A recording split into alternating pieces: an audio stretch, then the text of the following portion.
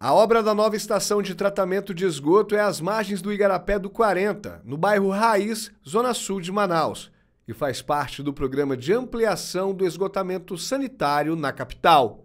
O local foi escolhido estrategicamente pela concessionária Águas de Manaus.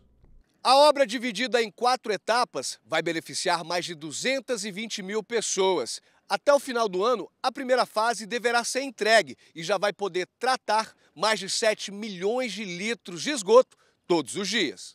Manaus também conta com empresas privadas que realizam a coleta de esgoto doméstico e fazem o tratamento.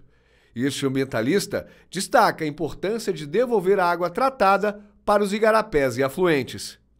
Ó, em relação à questão do esgoto, é extremamente importante não misturar o esgoto doméstico sanitário com esgoto de caixa de gordura, é, com produtos químicos, né, com resíduos sólidos, papelão, plástico, madeira, porque isso interfere diretamente no processo de tratamento.